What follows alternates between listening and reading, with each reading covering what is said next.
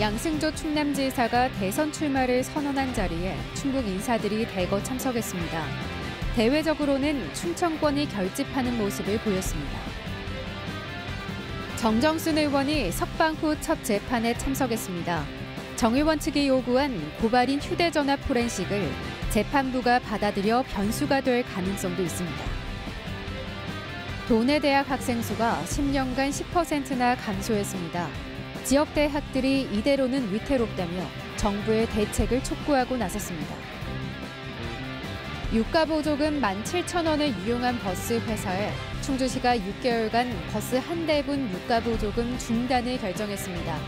세금을 잘못 쓴 대가가 강력해지고 있습니다. 여러분 안녕하십니까? 계속해서 충북 소식입니다. 어제 충북 코로나19 발생 현황부터 알아보겠습니다. 신규 발생 확진 환자는 9명입니다. 지역별로는 청주 8명, 음성 1명, 충북의 누적 환자는 2,729명, 누적 사망은 66명입니다. 양승조 충남지사가 어제 대선 출마를 선언했는데요. 출정식에 이시종 충북지사를 비롯해 충북 인사들도 참석했습니다. 정치적 해석을 경계하면서도 대선 전국에 충청권이 결집하는 모습은 보여야 한다고 의미를 부여했습니다. 최근 청주도심 철도 통과 미반영으로 정부 여당과 이래저래 불편한 상황이 묘하게 맞물렸습니다. 신병관 기자입니다. 양승조 충남지사가 더불어민주당 주자로 대선 출마를 선언하는 자리. 그동안 각종 현안에서 호흡을 맞춰온 같은 당 이시용 충북지사도 휴가를 내고 참석했습니다. 현직 지사로 선거법 때문에 발언 등은 하지 않았지만 양승조 지사에게는 적지 않은 힘이 됐습니다. 저 양승조가 앞장서겠습니다. 힘을 모아주십시오. 승리로 보답하겠습니다. 이장섭 충북도당 위원장과 역시 민주당 소속인 박문희 충북도의회 의장도 모습을 드러냈습니다. 충북 인사들의 참석은 지지 여부를 떠나 대외적으로 충청권이 결집하는 모습을 보여준다는 의미도 있었습니다. 이 어떤 특정인을 지지하는 것보다는 우리 충청권이 한 한 대로 뭉치는 이런 모습들을 좀 보여줘야 되지 않느냐 이렇게 생각을 합니다. 이낙연계에 쏠려있던 충북 여권은 재보궐선거와 당대표 선거를 거치며 대안 찾기에도 나서는 분위기입니다. 이재명 경기지사 지지조직도 빠르게 결집하고 있습니다. 오재세 전 의원이 전직 의원 출신 조직을 이끌고 있는 것으로 알려졌고 이광희 전 도의원이 주축이 돼 충북에서의 경선 준비에도 착수했습니다. 이낙연 대세론이 워낙 이제 한동안 충청북도에는 강했기 때문에 그 이제 기존에 있는 조직이 그대로 굳건하게 있고 저희들이 이제 추격하고 있는 중이라고 봐야죠.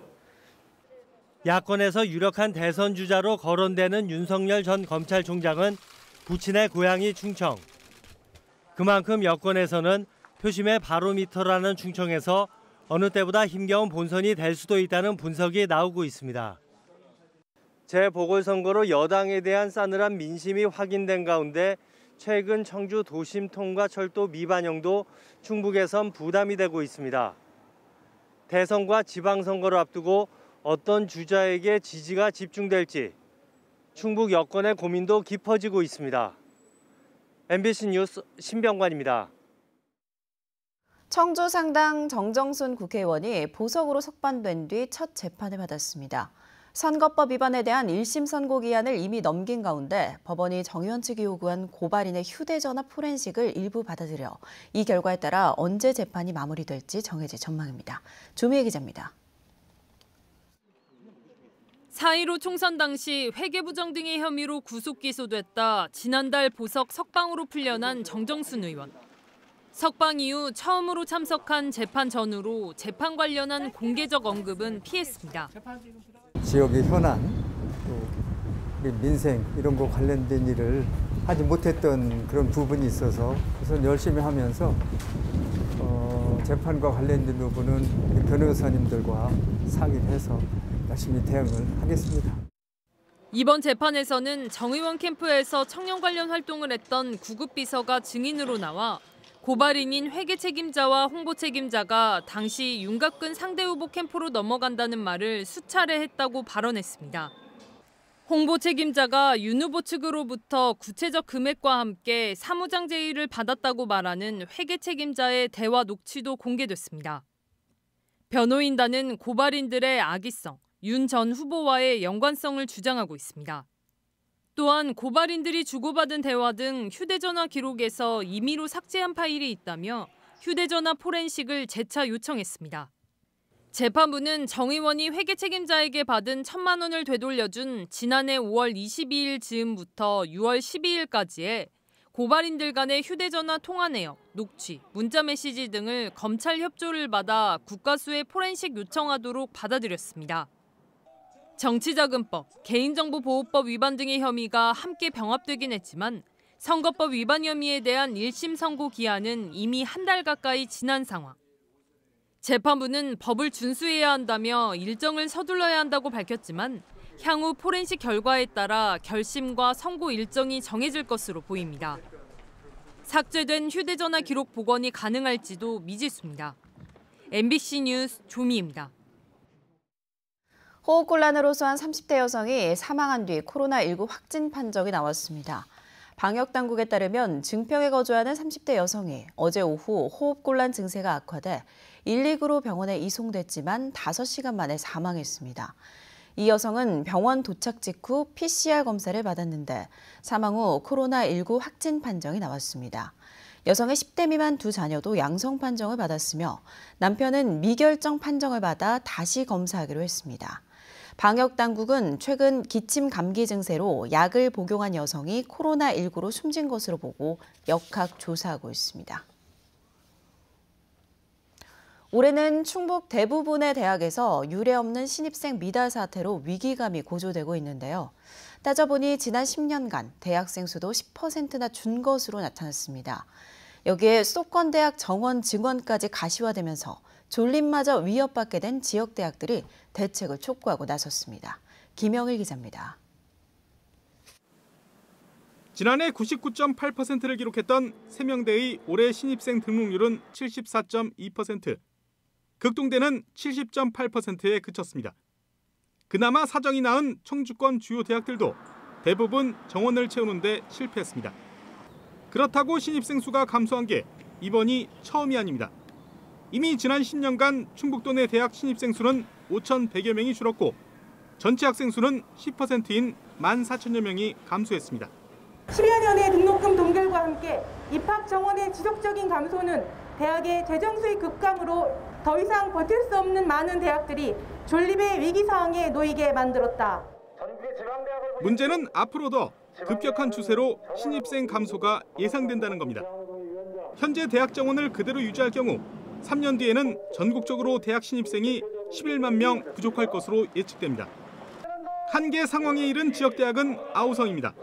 여기 미래다 대학 공무성 강화하자 대학 공무성 강화하자 먼저 등록률을 중심으로 한 대학 평가와 사업 중심으로 이뤄지는 예산 지원 방식부터 개선되어야 한다고 주장합니다.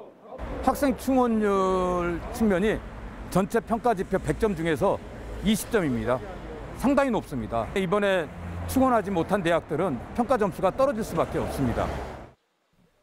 시민사회단체도 지방대 살리기에 거들고 나섰습니다.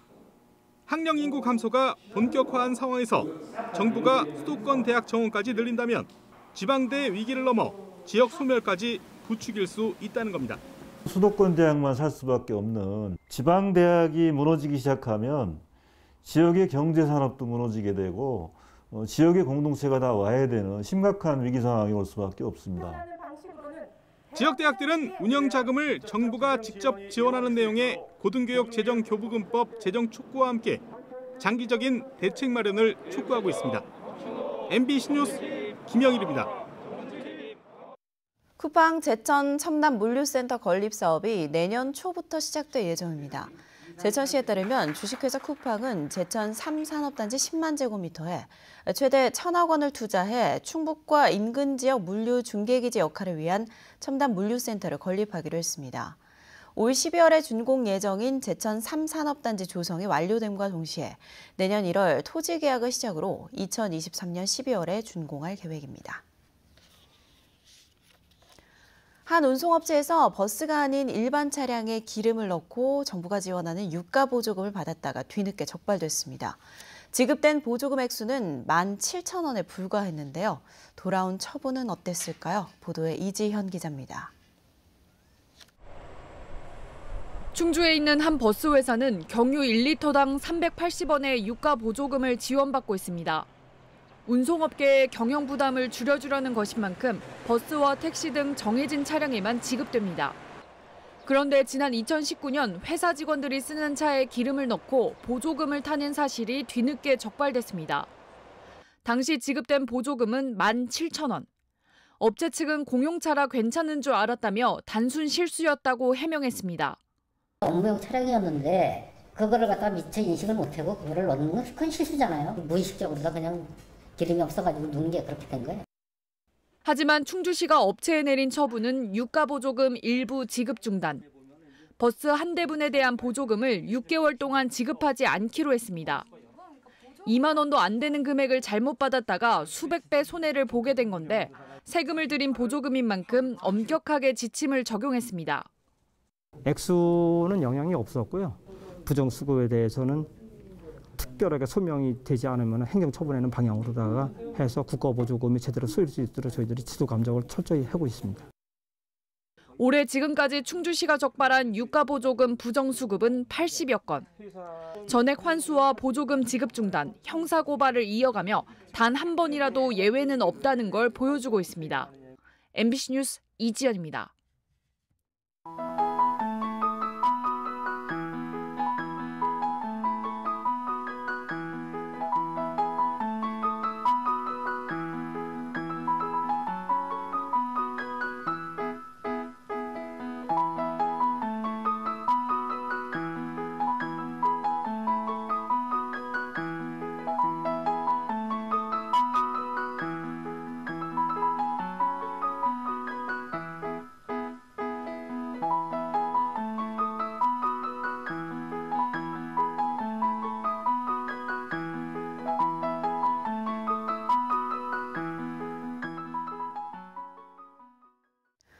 한반도 주변에 위치한 고기압의 영향으로 충북은 오늘 낮 기온이 30도 가까이 올라 초여름 날씨를 보이겠습니다. 오늘 낮 최고 기온은 26도에서 29도의 분포로 어제보다 2, 3도 더 오르겠으며 주말인 내일은 28도에서 30도까지 상승하겠습니다. 청주기상지청은 낮과 밤의 일교차가 15도 안팎으로 크겠다며 기온 변화로 인한 건강관리에 유의해달라고 당부했습니다. 일본의 방사성 오염수 해양 방류에 반대하는 시민 행동이 청주에서도 이어지고 있습니다. 핵 없는 사회를 위한 충북 행동은 일본의 오염수 방류는 생태계 변화를 가져올 매우 위험한 결정이라며 청주대교에서 피켓 시위를 열고 전 세계적 여론 형성에 동참할 것을 호소했습니다. 핵 없는 사회를 위한 충북 행동에는 청주 충북 환경연을 주축으로 10여 개 단체가 참여하고 있습니다. 전국 직업 전문학교 총연합회와 저희 MBC 충북은 급변하는 미래 환경에 대응하고 비대면 훈련을 통한 직업 능력 개발에 힘을 모으기 위해 업무 협약을 체결했습니다. 전국 직업 전문학교 총연합회 박홍일 이사장과 MBC 충북 한기현 사장이 서명한 업무 협약을 통해 앞으로 양질의 직업 능력 개발 콘텐츠를 개발하고 전국 직업 전문학교 회원사에 제공하게 됩니다.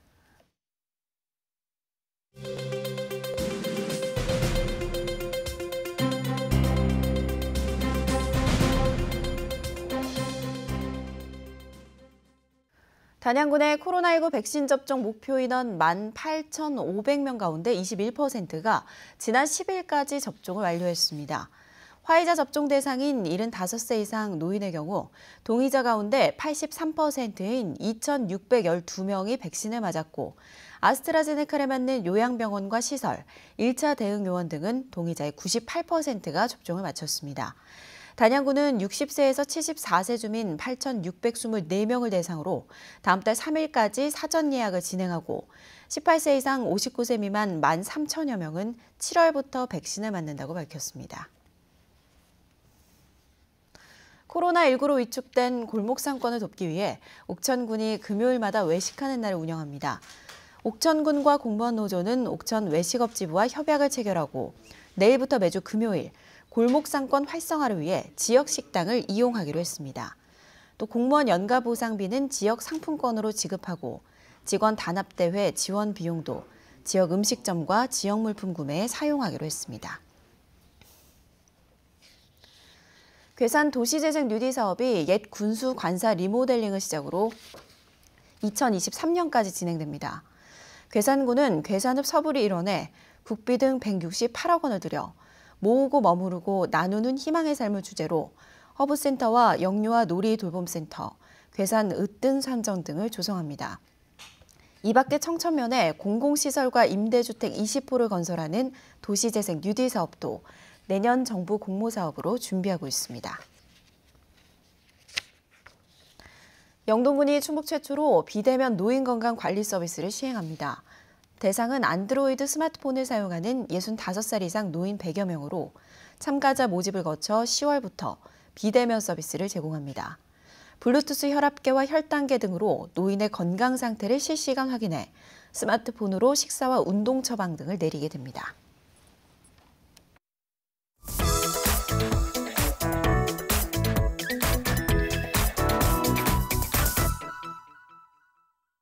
네트워크 오늘입니다. 요즘 고등학생들 대학 입시 준비 때문에 삶과 진로에 대해 진지하게 고민할 여유조차 없는데요. 이들에게 나침반이 되어줄 학생 교육기관이 새로 생겼다고 합니다. 춘천 강화길 기자가 청소년 인생학교 현장을 다녀왔습니다. 춘천시 북산면 북일이 깊은 산자락에 옛 학교터에 자리 잡은 청소년 인생학교. 강원도 내 6개 고등학교 17명의 학생이 금요일 오후 이곳을 찾았습니다. 돔 형태로 지어진 강의실이 이채롭습니다. 다양한 편의시설을 갖춘 글램핑장이 학생들의 숙소입니다. 그때 놀러 온 것 같아요. 자유로운 분위기? 그런 게 있어서 좋아요. 대학 진학 준비에 매달려온 학생들은 저마다의 바람을 갖고 이곳을 찾았습니다. 교사를 하기로 마음을 먹었다고 하더라도 다른 좋은 직업이나 제 적성에 있을 수도 있으니까 찾고 싶어서 왔어요. 지난 4월 9일부터 운영을 시작한 청소년 인생학교. 매주 금요일과 토요일 1박 2일 동안 다채로운 활동에 참가합니다. 학생들은 일반 학교와는 판약에 다른 캠핑장 같은 공간에서 새로운 교육을 받게 됩니다. 단순한 진로 설계를 넘어 학생들이 삶의 철학을 만들어가는 방법을 체득하게 됩니다. 자기 인생을 주체적으로 선택해서 살아갈 수 있는 그런 사람으로 성장되길 바래요. 문학과 역사, 철학과 같은 기초 교양에다 융합 예술 과정, 놀이와 교육을 버무린 활동이 펼쳐집니다. 학생들은 쉼과 암, 놀미 뒤섞인 여유로운 교육 과정에 만족해합니다.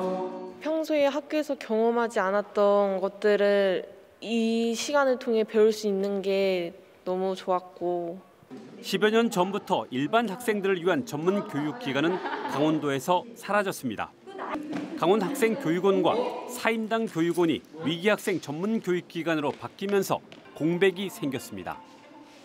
강원도 교육청이 뒤늦게 이를 깨닫고 만든 청소년 인생학교는 고등학교 1, 2학년이면 누구나 들어올 수 있습니다.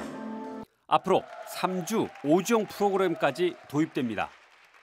입시의 틀 속에서 수동적으로 생활하던 고교생들의 현재를 어루만지고 미래를 설계하도록 돕는 참된 인생 설계 학교로서 기능할 수 있을지 주목됩니다.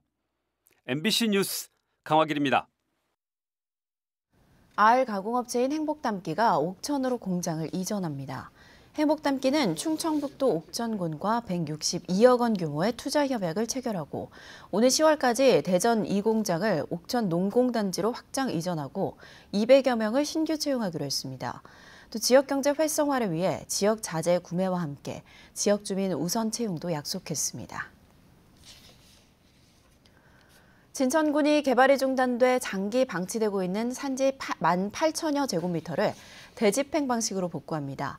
복구 대상은 초평명 은암리 공장 허가 취소지와 덕산면 용목리, 광해연면 죽현리, 주택단지 허가 취소지 등 세 곳으로 전용 허가를 내줄 때 예치한 복구비로 장마철 전에 공사를 마칠 계획입니다. 또 산지 전용 허가가 취소되거나 만료된 개발지 99곳 21만 제곱미터를 추가로 확인해 복구 명령을 내릴 방침입니다.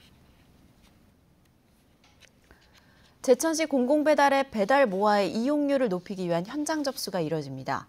제천시는 매주 평일 오후 1시부터 6시까지 시민회관 앞에서 접수처를 운영해 배달 모아 가맹점 등록을 원하는 소상공인이 사업자 등록증과 통장 사본을 가져오면 현장에서 접수합니다. 지금까지 배달 모아에 등록된 가맹점은 490여 곳입니다. 청주시 주요 현안 해결에 대한 시민 아이디어 공모가 다음 달 4일까지 진행됩니다. 공모 분야는 쓰레기 감량, 온실가스 감축을 위한 시민 실천 방안, 원도심 문화관광 활성화 등 세 가지로 누구나 청주시 홈페이지를 통해 참여할 수 있습니다. 청주시는 심사를 거쳐 6월까지 당선작을 선정해 최대 100만 원의 시상금을 지급합니다. 내 자영업자 수가 다시 급증했습니다. 충청지방 통계청에 따르면 지난달 충북의 자영업자는 19만 2천 명으로 한 달 만에 3.2% 6천 명 늘었고 임시 근로자와 일용 근로자도 각각 2천 명에서 3천 명씩 증가했습니다. 뉴스투데이 충북 소식 마칩니다. 고맙습니다.